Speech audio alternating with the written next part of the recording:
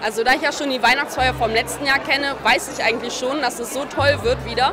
Und, oder ich kann es mir vorstellen, dass es so toll wird. Und letztes Jahr bin ich mit so einem beseelten Gefühl hier rausgegangen und war richtig so weihnachtlich eingestimmt. Und eigentlich habe ich wieder diese Erwartungshaltung, dass ich hinterher wieder denke, Weihnachten kann kommen, ich bin bereit.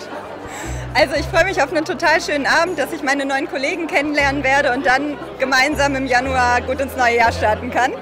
Ich denke mal, heute wird ein schöner, geselliger Abend. Man kann sich mal außerhalb der Arbeit treffen, ein bisschen reden, mal ein bisschen privater reden.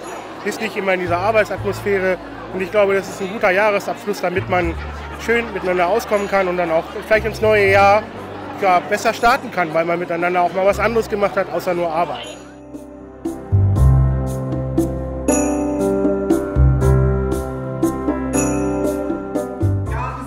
Herzlich danke für ein fantastisches Jahr 2019. Und zusammen bin ich überzeugt, mit Ihnen, liebe Mitarbeiterinnen und Mitarbeiter, werden wir die Herausforderungen, die wir 2020 haben werden, gemeinsam schaffen, bewältigen und besser werden.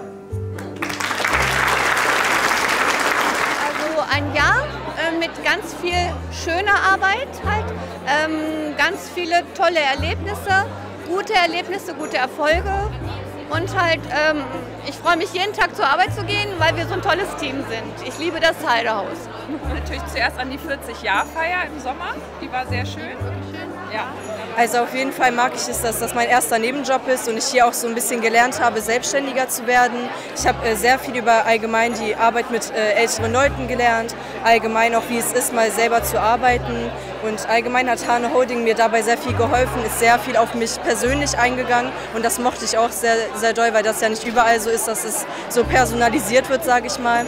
Und deswegen war es ein sehr schönes Jahr auf jeden Fall.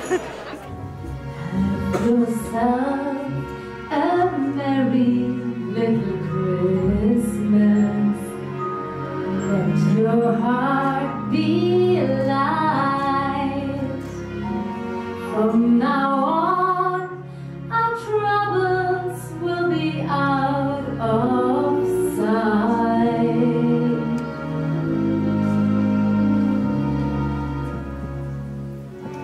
Have yourself a merry little Christmas. Make the Yuletide